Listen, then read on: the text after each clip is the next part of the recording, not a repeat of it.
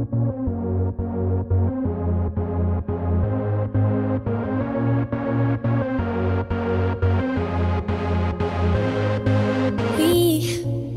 we don't have to worry about nothing. Cause we got the fire, and we burning one hell of a something. They, they're gonna see us from outer space, outer space, light it up. Like we're the stars of the human race, human